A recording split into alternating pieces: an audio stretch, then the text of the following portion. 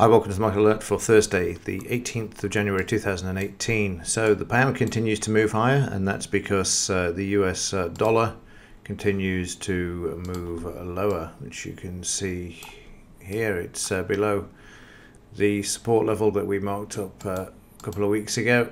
Uh, let's just convert this to a weekly chart so you can see. And the price is uh, continuing to break this level, long way down to the final destination for this market should it continue to move lower. And therefore dollar down we've got uh, the pound moving to the upside. Uh, two signals yesterday. Uh, you see the buying coming in there as well in the green. And uh, also here and then 185 points later the pound is higher. Some selling on the overnight, uh, which you can see there's going to be some profit taking in this market uh, as there's going to be a bounce in uh, the US dollar also. So you can see uh, that uh, taking place there. So let me just bring this down a bit. You can also see that the market's uh, at the 62% fib retracement just on this at the moment. Market needs to take this out in order to move higher. And just put the resistance level in. That's going to be the next one because the market uh, needs to take this out in order to continue higher as well. Looks like the selling's disappeared from uh, yesterday as well because uh, prices are already beginning to move to the upside. The key is to close above uh, the 139.42. 140 is going to be a, a major psychological area for this market. Meanwhile, uh, actually, just before we do that. Let's um, just check news today. and anything jumping out there? No, not really. Crude oil inventories are uh, a day late because of the Martin Luther King holiday this week, and that's about it. There's nothing there to scream about. All the news will be out before the Dow's main session. So no, nothing, uh, nothing there. Mind you, the market just ignores it or turns it into a positive now anyway, so it doesn't really matter to look at the news, but it's still worth noting, uh, in particular, central bank announcements.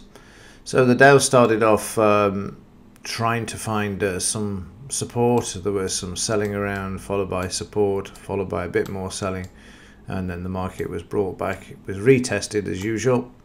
So you get all of this uh, uh, toing and froing, and then eventually the market comes back and finds support at the uh, 25,900 level and uh, as I said in yesterday's market alert, if it uh, moved higher in the daily chart, let me just show you what uh, we looked at yesterday. Spread this out a bit.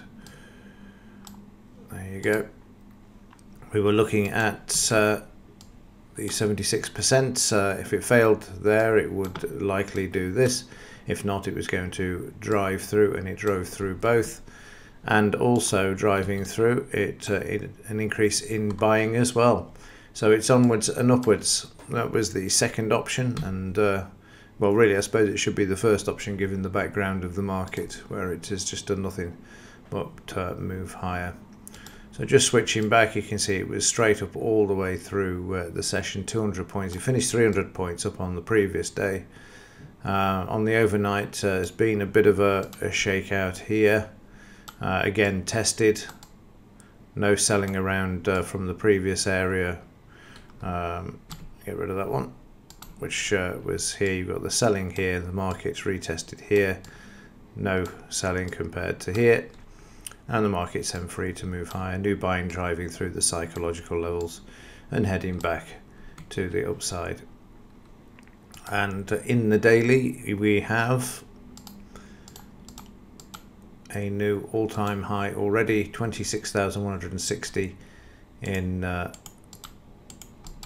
this market. I'll just remove those for you.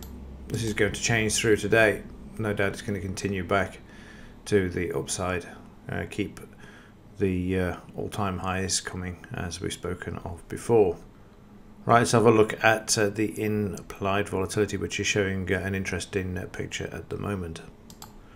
Well, given that the underlying market moved higher yesterday strongly by 300 points, the implied volatility has actually increased from 1039 to 1083 which uh, says to me that uh, even though the market is moving higher, going in the direction that everybody's being used to, there's still a little bit of concern here, and uh, you can see that uh, the option sellers are not convinced uh, by the move at the moment, so that's why it's being marked. Let's see what happens today. Me uh, actually bring this back, but at the moment it's slightly out of kilter with the normal pattern that would be implied volatility lower when the underlying market is higher.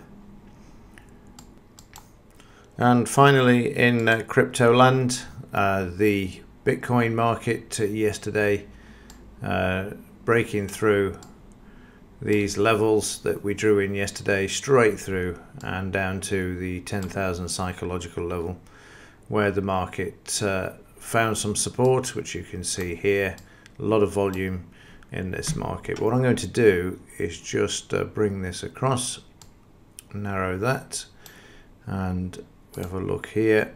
What we're looking for in this market is some big spikes in the volume to bring in some support, and we're in that area at the moment. 10,000 level is crucial at this point. The market must hold at this level.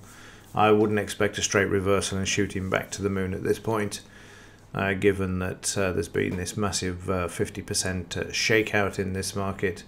I've got uh, an interest in buying some down at the 76% retracement.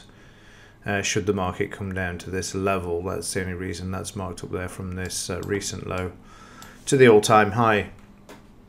Uh, just out of interest, just to see how it goes. But that means it's got to break the 10,000 level once more.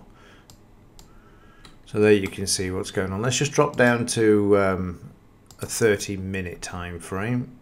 I think if we double click on that, that brings it back. So you can see what's going on. So you've got, uh, this is the low for yesterday. And again, if you trade the markets looking at volume, you can see how uh, this all came to a grinding halt.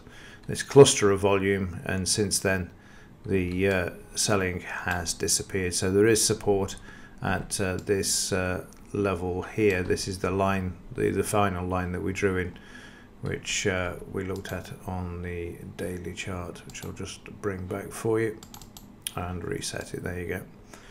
So a lot of volume. To me this looks like a, a shakeout as opposed to actually uh, selling because again if you rescale the chart and go back to the other uh, corrections you'll see that the volume was far higher that's definitely buying coming into the market there. They had a bit of a shakeout.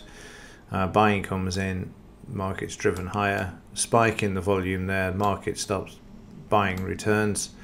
And then here, what we had was uh, profit taking coming in just before Christmas.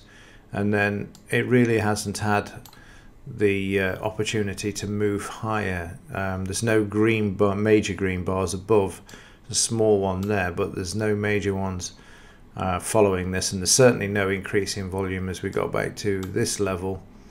So this is a very interesting picture. To me this looks like uh, we've got uh, the market uh, there. They're testing for selling because we had selling at this area and uh, you can see it there. But in the smaller time frames you can see there's a bit of buying coming into the market. Today will be interesting.